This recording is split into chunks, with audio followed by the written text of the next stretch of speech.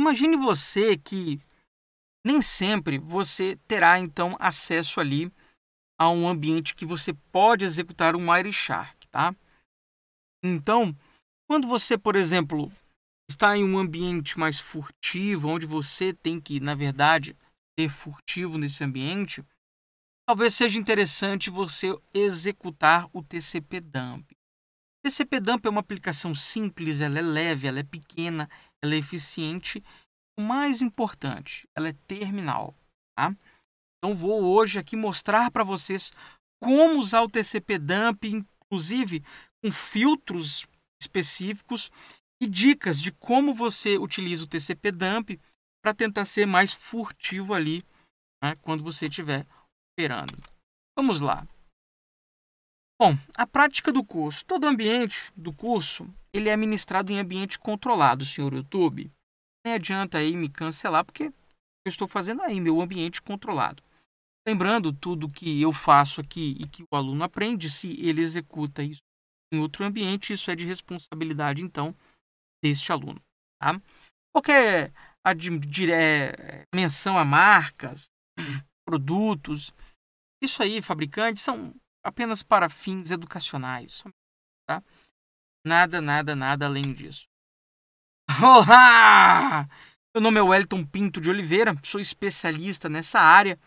Hoje eu vou explicar sobre TCP Dump. Caso você queira entrar em contato com o nosso grupo do Telegram, tirar dúvida, nós temos aí na descrição do vídeo. Nós temos na descrição do vídeo um livro de Linux fudidão que você vai te deixar você top em Linux. Nós temos um livro de hacking e nós temos também Telegram, tá? Curta sempre compartilha esse vídeo aqui porque o YouTube não dá moral para mim, tá? Mas ali eu tenho sempre 100% ali de like ali, isso para mim é o que me dá moral e me motiva. Hoje eu tô um pouco meio assim dark, hoje eu tô um pouco meio escuro aí, né? Tô meio chateado com essa guerra aí na Ucrânia, né? Então, estou aí assim hoje. Apenas não tô afim de aparecer não, tô chateadaço com o negócio lá, tá? Lembrando que os hackers eles estão atuando sim, né?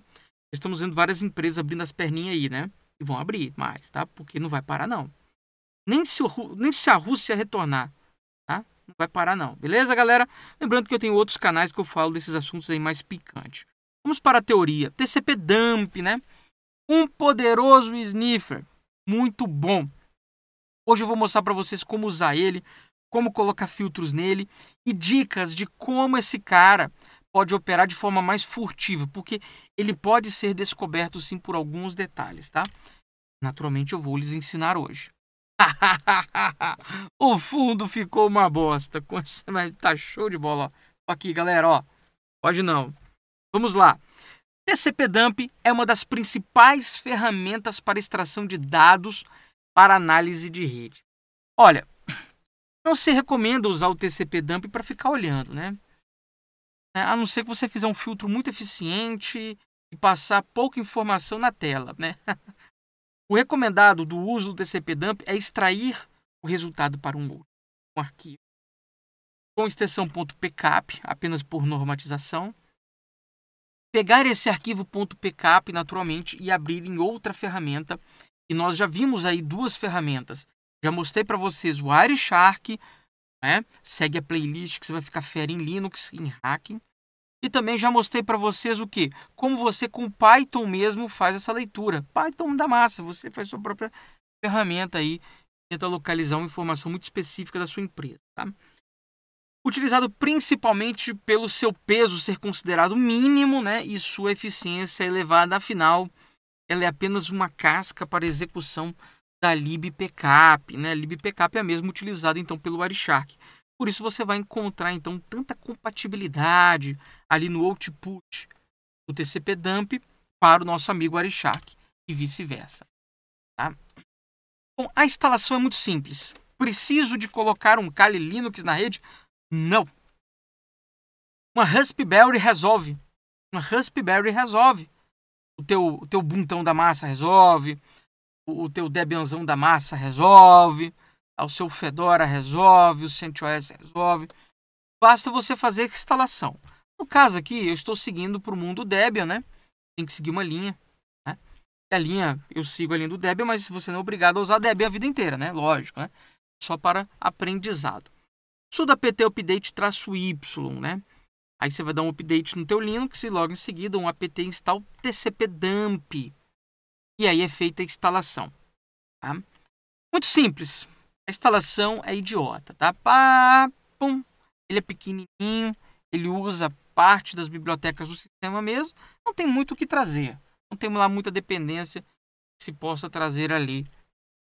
Mas olha só, vamos, vamos imaginar. Eu expliquei para vocês lá no capítulo, presta atenção, lá no capítulo de arquivos do mundo Linux, lá no livro que está na descrição, e processos, e para vocês, e eu tenho arquivos que, na verdade, são dispositivos de entrada e saída, tá? Mapeados em barra dev, device. Então nós vamos, o TCP-dump e essa libpcap ajuda você a mapear esses arquivos e lá dentro você vai ter arquivos que transmitem dados uma placa de rede. Tá? Então nós podemos com o TCP-dump escutar esses arquivos, mas tem que estar no modo de sudo. Né? Na verdade não existe modo sudo, tem que usar o sudo, né? É que eu quase falei o superusuário, mas eu já falei para vocês, né? Não se usa o superusuário nunca, né? A não ser para você dar um start no Linux ali. Aí você depois você configura sudoeiros corretamente, né? Pronto. A forma mais simples, né, de capturar todas as conexões é nem olhar as interfaces, capturar de todas, basicamente invocando o comando sudo tcpdump. Sudo tcpdump. E repare que ele fala, né, que ele vai monitorar ali, né, o link internet e tal. E de repente ele começa lá, ó, ó já está pegando informações, ó, virtua.com.br.domain, Unicode, né? Dá para você ter uma noção ali do que está sendo transmitido. Mas no olho assim fica muito ruim, tá? No olho assim fica muito ruim. Execute apenas para você ver, né? O ideal é você jogar para um arquivo e do arquivo você naturalmente fazer um trabalho em cima dele, né? Vamos mostrar aqui alguns parâmetros, né? Mostrar o conteúdo dos pacotes em hexadecimal, né? Igual a XX igual a X, mas também mostra o cabeçalho Ethernet, caso você queira ver o cabeçalho Ethernet, porque aqui ele só está mostrando o cabeçalho ali da camada 3, né? Galera, vocês têm que manjar muito, muito, muito, muito de rede de computadores. Sério. Você tem que ir a fundo na teoria, tá? Não adianta brincar aqui se não tiver o conhecimento de rede de computador. Tem, tem. Isso é que difere o script kid do hacker de verdade. Tá? O traço D mostra né, a lista de interfaces disponíveis, nós vamos usar aqui hoje. Uma saída legível por linhas, seja menos verboso, ouça na interface definida que nós vamos usar aqui hoje. Saída detalhada, mas olha só, se isso aqui já vai cuspir tanta informação que você não é capaz nem de ver passando de tão rápido que é, mais verboso é que o negócio vai ficar ruim para você, né? Obtém apenas um número X de pacotes, você quer tirar uma amostra, né? Por exemplo, olha que interessante. Esse C é interessante, tá? Você executa o TCP dump a cada, por exemplo, 20 minutos e recolhe mil amostras da rede, tá? Por um motivo simples, eu já venho falando aqui nesse curso de, de hacker, principalmente no capítulo Sniffer, né? É o seguinte, os malwares, eles têm um comportamento. Esse comportamento é visível na rede de computadores. Entendeu? Então, se tem um malware ali, você vai acabar pegando rastros dele naturalmente na rede de computador. Inclusive, isso é um capítulo à parte que eu vou fazer no livro. Tá? Isso é interessante, né? Você roda a cada 20 minutos, pega uma extração de mil pacotes e depois analisa, né? Uma hora o malware vai ser pego nessa brincadeira aí vai ser pego de imediato, mas uma hora ele vai ser pego. A traço E, né, obtém o cabeçalho internet. E tem muito mais parâmetros, tá? Muito mais parâmetros. Por exemplo, o W minúsculo, né, que é para salvar o arquivo. Conforme eu falei, isso aqui vai começar a cuspir muito código. Vai passar muito rápido na, rede, na, na sua frente aí. É o que está passando na placa de rede. Se você não colocar filtro, aí que o bicho fica pior ainda. Então, o que é recomendado é você é, executar o TCP dump salvando ele em um arquivo para posteriormente fazer uma análise. Tá? Vamos lá. É, bom, primeira coisa, o TCP dump ele pode ser executado por terminal. Você pode agendar ele para ser executado, por exemplo, no Chrome a cada meia hora. Chrome é um conceito que eu já expliquei no livro de Linux que está aí na descrição. Legal. Vamos lá. Vou criar um diretório né, temporário ali, né, sudo mkdir, tmp que já existe, tcp dump. Estou criando esse diretório para organizar os arquivos ali dentro. Bom, vamos lá. É, se você só colocar sudo tcpdump traço w barra tmp tcpdump barra buffer, se você quiser você pode pôr buffer.pcap também, tá? Pcap também no final para dizer que é um arquivo para você abrir lá no teu Wireshark, né? Só para dizer isso, nada mais. O que ocorre? Toda comunicação de rede vai ser jogada nesse arquivo. Ou seja, tudo que trafega pela sua placa de rede, inclusive aquele seu DVD da Shakira, vai passar também. Todos os seus vídeos vão estar lá também. Tudo que transmitiu vai estar lá também. Então imagina o tamanho desse arquivo. Puta merda, vai ficar gigantesco, meu amigo. Por isso que eu recomendo o traço C maiúsculo. É C maiúsculo, tá? C de cachorrinho. Maiúsculo. 100 mega. Tá? Então vai gerar um arquivo lá, pá, de 100 mega.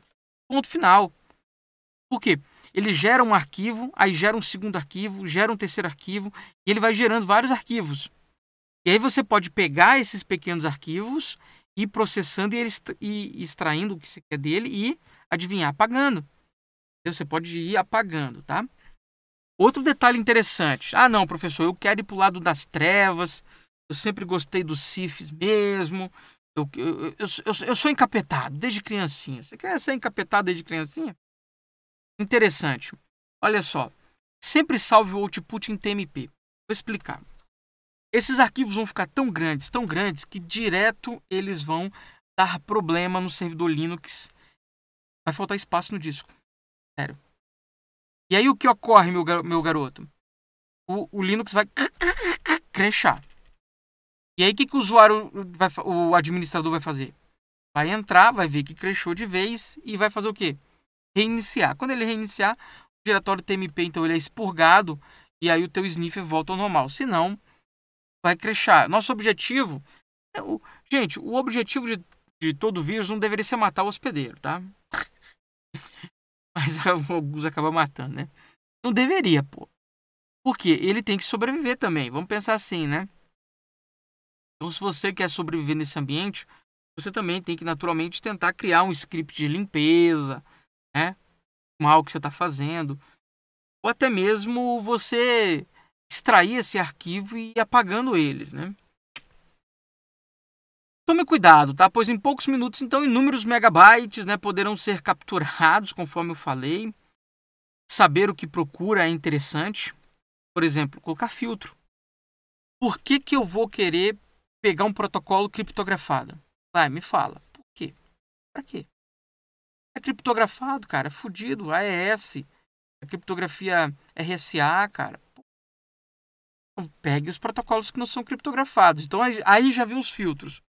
Filtro para HTTP, HTTP, desculpa, FTP, POP, SMTP e Telnet. Os principais. Por que esses são os principais? Tem outros que passam sem criptografia porque esses cinco passam sem criptografia e transportam os dados de usuário e senha. Então, tá aí algo muito interessante.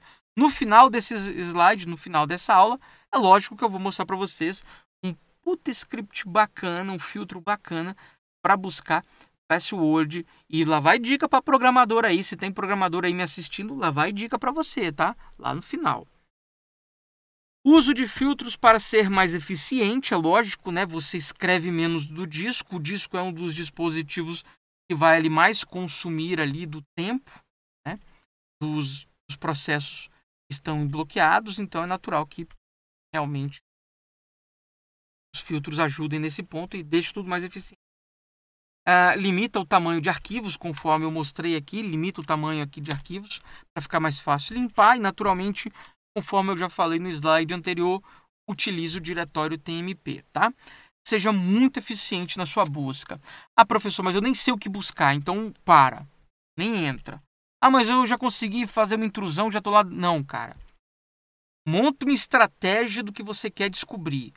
Montou a estratégia que você quer descobrir?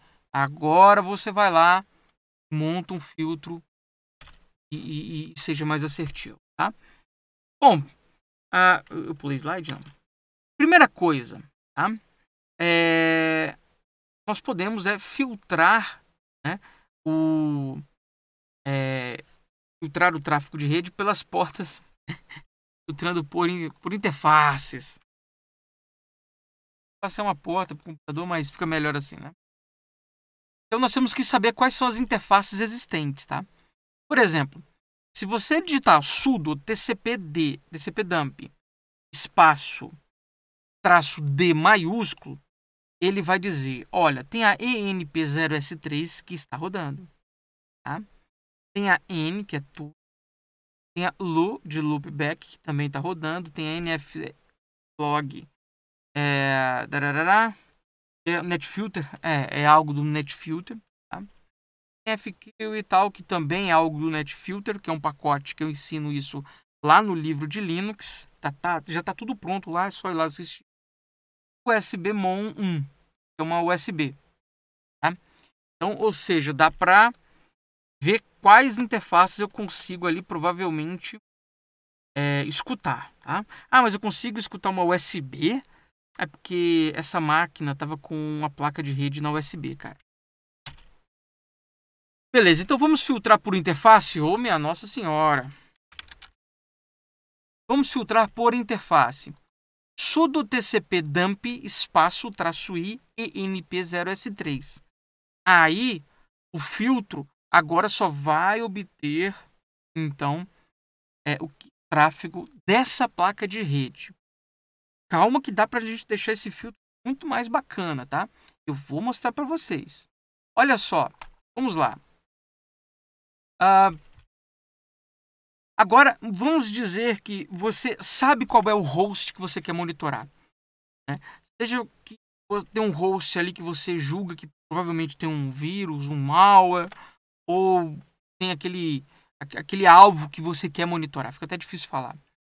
Bom, se você quer monitorar o que entra e o que sai, preste atenção. Se você quer monitorar o que entra e o que sai, você coloca sudo tcp host 192.168.0.1. Você está monitorando o que entra e o que sai, tá? Mas beleza, digamos que eu quero monitorar só o que sai daquela máquina. Ah, só o que sai daquela máquina? Então beleza. Sudo tcp dump src 192.168.0.1. Você está capturando só o que sai daquela máquina, porque o que sai tem como source aquela máquina. Né? Sudo tcp dump dst, ou seja, você quer monitorar tudo que está indo para aquela máquina alvo. Tá? Então, são ali né, os três ali, os, as três possibilidades ali, caso você saiba exatamente qual é o IP que você está tentando obter ali mais informações.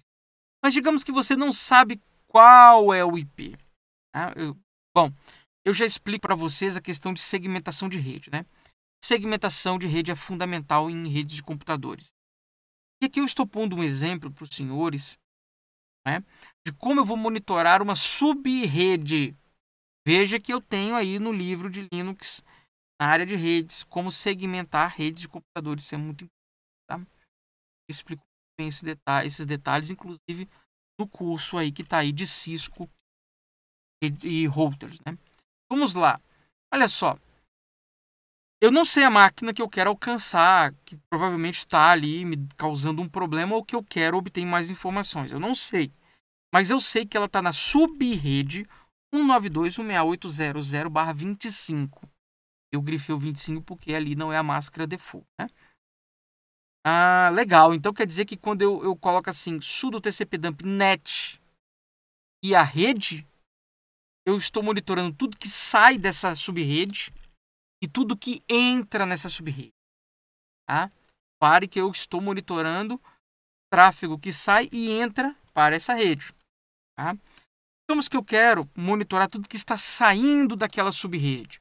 Digamos que eu tenho um malwarezinho ali que ele está tentando atacar outras redes. Também, TCP dump é srcnet 92680025.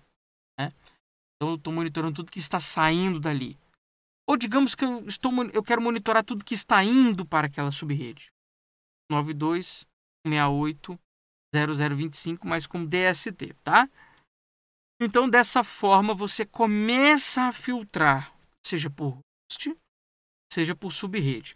Ah, professor, na minha empresa é um pandemônio. São mais de 800 máquinas ligadas, então, em tudo numa rede só. Meus parabéns. Você conseguiu mais trabalho. E você vai ter que segregar essa rede, segmentando naturalmente, tá? Faça, faça você o serviço decente lá, cara. Porque não pode deixar, não, cara. Aí vai virar um pandemônio infernal, tá? Até mesmo para você localizar alguma coisa ruim ali dentro fica difícil. Bom, nós também podemos filtrar por protocolos específicos, né? Nós já sabemos que certos protocolos são perigosos, né? Vimos aí o meu capítulo aí de Network Mapper que tá já tem os vídeos gravados, já está escrito, né? Tá um capítulo fantástico, né? E é onde eu utilizo lá o Nmap, né? Então, se você encontrar na rede, preste atenção, se você encontrar na rede uma chuva de ARPing, utilizando ARP, utilizando a pergunta who has, você sabe o que? Puta merda, alguém está mapeando a rede. Ou é um malware ou é um usuário malware. Né?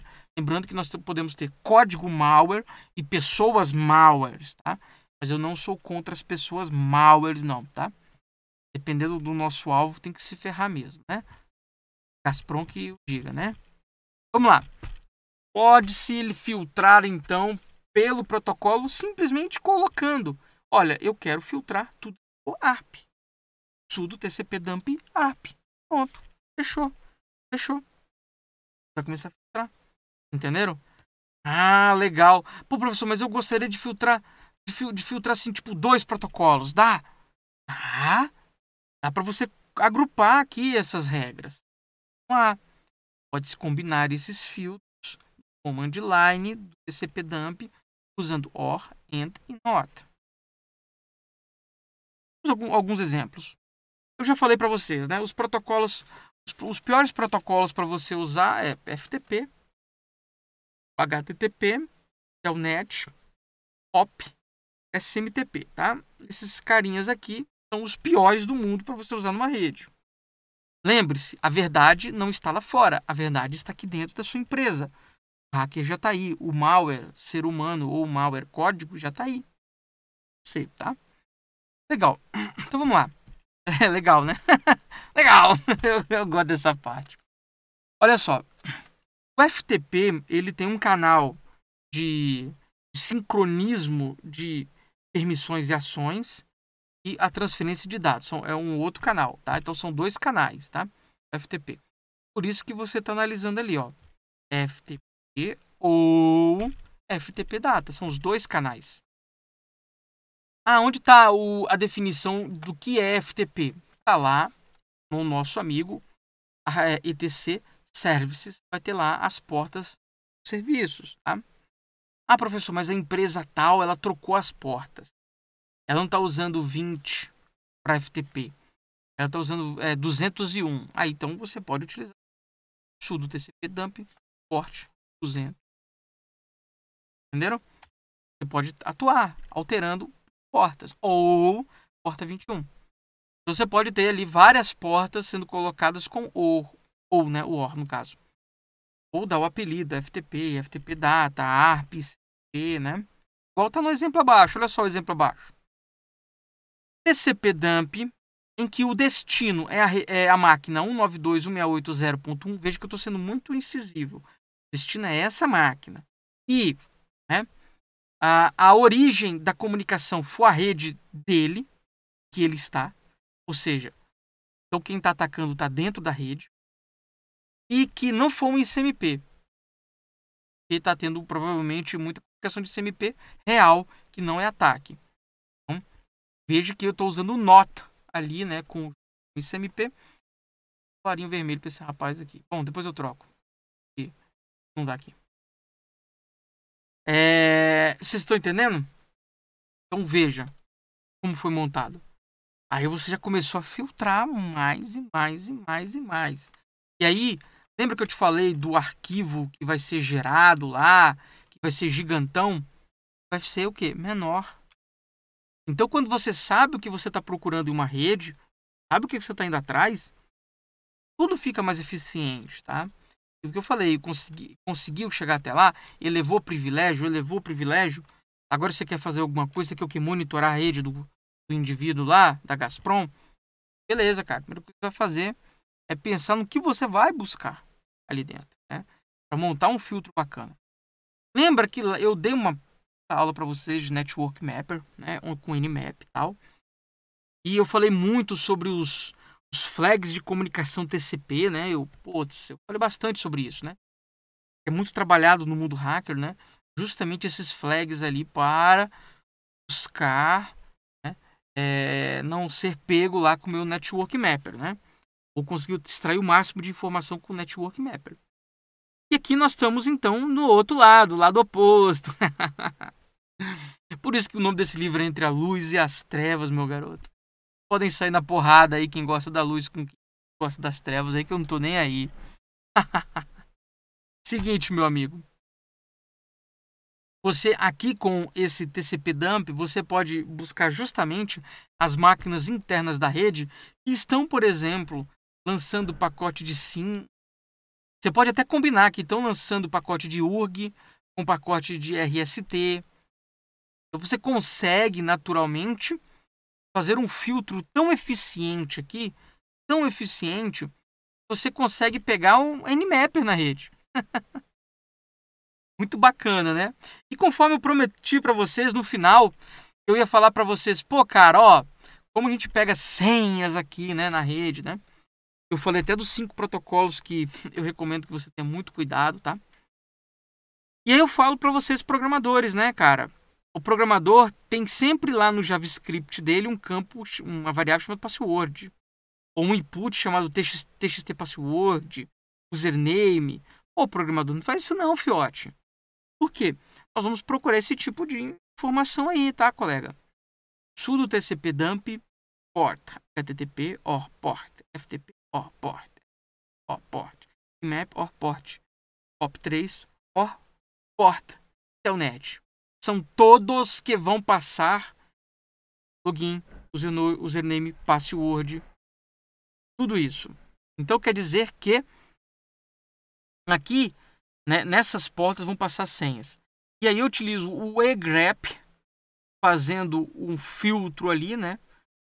É, por tudo que tenha paz, igual, paz de pa, pa, pwd igual, log traço, igual, login igual, traço. Dá pra, cara, dá você fazer uma regex nessa brincadeira, tá?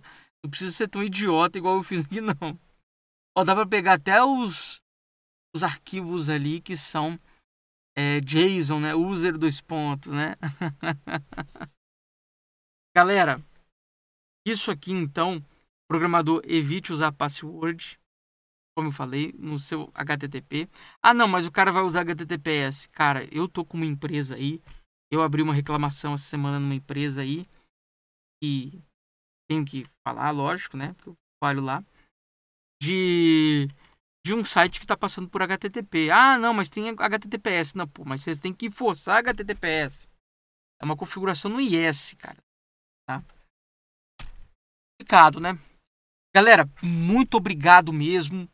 Curta, compartilha. Esse canal aqui é feito por vocês, tá? É, coloca aqui esse vídeo lá no Telegram, estoura isso aqui, coloca isso aqui num monte de, de, de, de grupos aí.